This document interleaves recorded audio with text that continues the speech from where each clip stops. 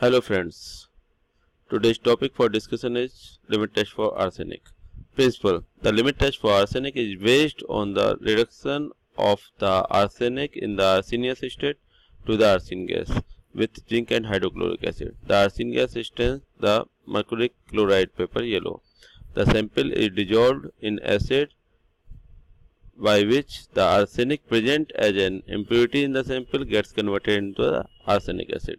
The arsenic acid is reduced to the arsenious acid by any reducing agent like stannous acid as well as by the potassium iodide etc. The nascent hydrogen formed during the reaction further reduced arsenious acid to the arsine gas. The arsine gas reacts with the mercury chloride paper to provide or to produce the yellow stain. So this is the reaction involved. Arsenic gets converted into the arsenic acid by the reaction of acid. The arsenic acid gets converted into the arsenious acid by reducing agent and the arsenious acid reacts with the nascent hydrogen gives arsenic gas which on reaction with mercuric chloride paper gives yellow stain. The depth of the yellow stain depending upon the amount of the arsenic present in the sample is compared with that of standard stain produced from the known amount of arsenic. The apparatus contains, so this is the apparatus which is used for the limit test for arsenic. So the apparatus consists of 100 ml bottle or conical flask closed with a rubber or ground glass stopper through which passes a glass tube which is about 20 centimeter long. This is the glass tube which is directly attached with the apparatus. So the lower part of the tube is drawn in an internal diameter of 1 mm and 15 mm from its tip is a lateral orifice which is having a orifice of 2 to 3 millimeter diameter. When the tube is in position of the stopper, the lateral orifice uh, should be at least 3 mm below the lower surface of the stopper. So the upper end of the tube has a, a perfectly flat surface at right angles to the axis of the tube. The second glass of the same internal diameter and 30 mm long with a similar flat surface is placed in contact with the first and is held in position by two spring clips.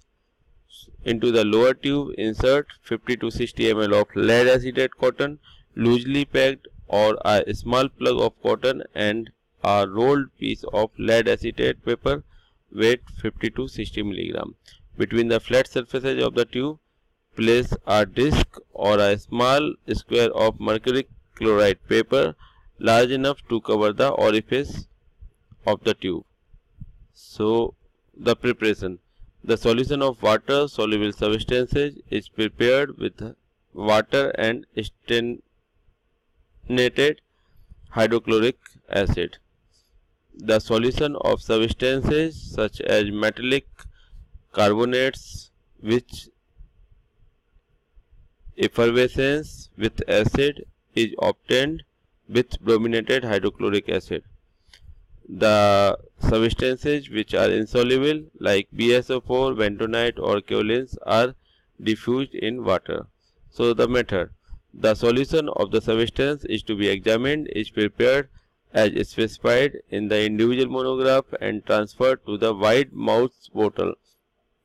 To this add 1 gram of potassium iodide, 5 ml of stannated hydrochloric acid solution and 10 gram of zinc Immediately place a glass tube in position and immerse the bottle in a water bath at a temperature such that a uniform evolution of gas is maintained.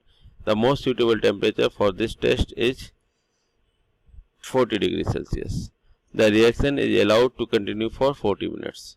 After 40 minutes, a yellow stain produced on the mercurous chloride paper is compared with the standard stains produced by treating 1 ml of the arsenic standard solution diluted to 50 ml of water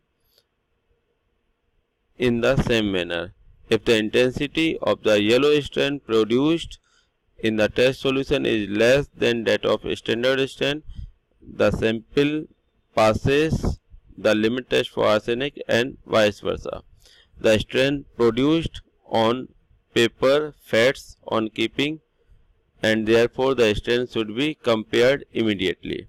So these are the method for preparation of hydrochloric acid solution, hydrochloric acid, low in arsenic commercially available, bromine solution, dissolved 9.6 ml of bromine and 30 gram of potassium bromide in sufficient water to make 100 ml. Brominated hydrochloric acid, it is prepared by adding 1 ml of bromine solution to 100 ml of hydrochloric acid. Stannous chloride solution. It can be prepared by either of the two methods. Dissolve 330 gram of stannous chloride in 100 ml of hydrochloric acid and add sufficient water to make 1000 ml or another method is dissolve 60 ml of hydrochloric acid with 20 ml of water at 20 gram of tin and heat gently until evolution of gas ceases. Add sufficient water to make 100 ml, store over a little of the undissolved tin remaining in the solution and protect it from air.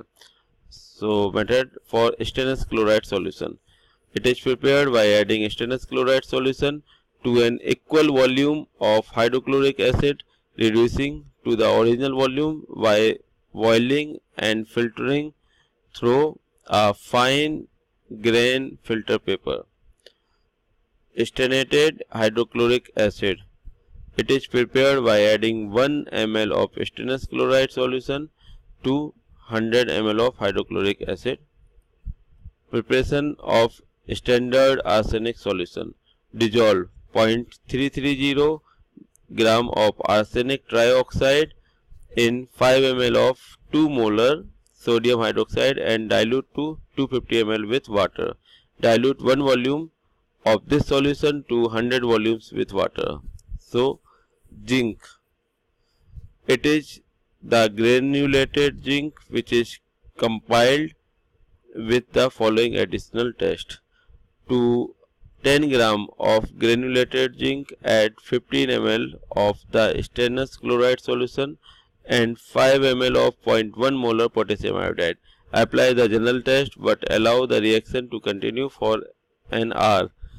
No visual strain should be produced on the mercury chloride paper. Repeat the test by adding 0.1 ml of standard arsenic solution.